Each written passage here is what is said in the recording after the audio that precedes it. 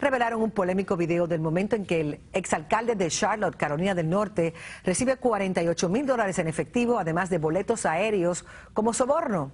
Agentes encubiertos del FBI se hicieron pasar por empresarios inmobiliarios y le ofrecieron el dinero para que acelerara los permisos para empezar una serie de obras en construcción.